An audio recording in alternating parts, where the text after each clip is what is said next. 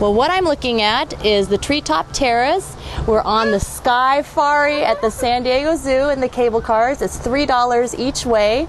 It's well worth it, or you can always get it in the best value ticket, which would be included, which is even better. Here is Balboa Park. There's another cable car downtown San Diego to your left. It's a gorgeous ride, and you can see my family. Ethan, can you say hi?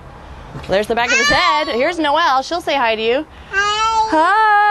And we're about to land, and where this brings you is to the polar bear plunge. So it goes from the entrance to the polar bears.